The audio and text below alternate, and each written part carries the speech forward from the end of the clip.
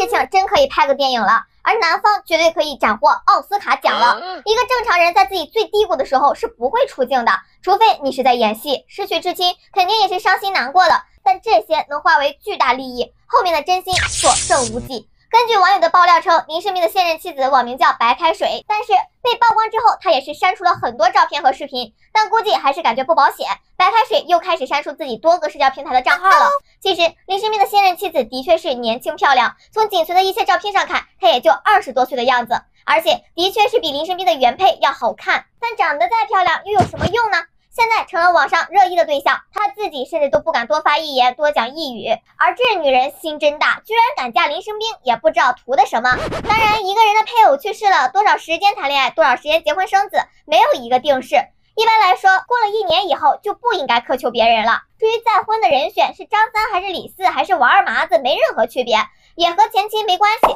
即使现在再婚的妻子以前认识或者有可能有点暧昧关系，也只是一个人生活的污点而已，和他妻子孩子离世没有必然关系。只不过我们没有要求林世斌一直活在过去的故事里。如果有一天你告诉大家我已经走出来了，我要开始我的新的人生了，我们也都理解。毕竟人死不能复生，但是你一直在煽情经营人设，在公布孩子出生前还在经营人设，拿着巨额的赔偿，还跟老人对簿公堂，让人大跌眼镜。而现任就是比前任年轻了点儿，在气质上输给了前任，只能说这个男的真的不简单。这么多年了，他居然能这么轻易放下，还谈什么思念妻儿，就是虚伪，